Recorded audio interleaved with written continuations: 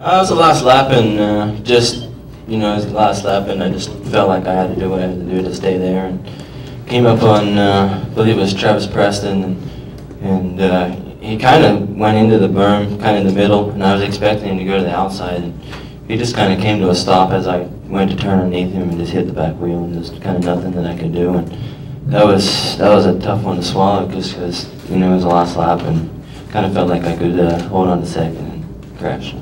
The second lap, I believe it was, I uh, I tripled in the back and just came up a little short, and then I as I hit the next turn, I lost the front and kind of got caught up there, and I wasn't able to double before the the uh, the sand there, but. Uh, kind of just that was kind of the the break of the race. Just kind of lost contact. I was pretty happy the way I was riding, especially the last seven or eight laps. I was uh, I was chewing away at the gap for sure, and uh, you know, when, when he made that mistake and I got by him and then we were playing cat and mouse and, uh, you know, I, I knew that he was probably going to put an aggressive move on me after the mechanics, so I just let him go.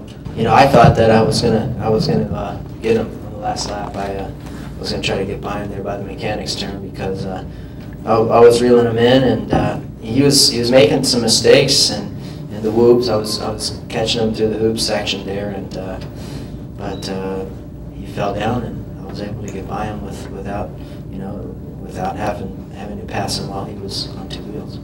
I seen him seen him just pretty much laying there, and I, I picked him up and just you know put it put his hand up, and uh, you know like a, it, it's a great feeling to uh, to win a race, and uh, just you know give him give him credit where credit's due. I felt fairly comfortable tonight. You know, I was just uh, a little nervous being out there. You know, I've you know, been out there, you know, for 20 laps and stuff, and you know, I felt great. You know, I felt, you know, strong. I um, I lost my front brakes like seven laps, so um, halfway through the race, you know, these guys started catching me, and then I kind of got adjusted to it, and and uh, kind of gapped them again. But you know, it's um, great race. You know, I, am so I'm so happy. I don't even know to say.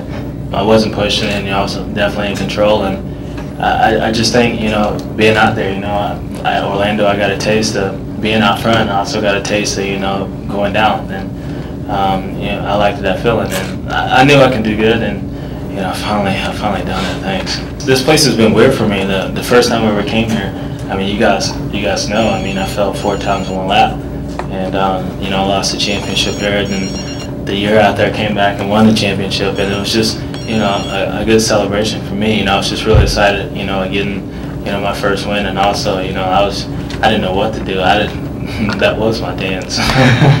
you know, Ricky's a you know a great champion. You know, he's he's won a lot of races. So you know, to be picked up by somebody like that, you know, by winning your first race, and uh, this dude seems like he has 400 race wins. it, it, it, was cool. You know, um, you know, I really appreciate him coming over. You know, coming over to me, and, and uh, it, it, I was it's an honor. You know, it was great.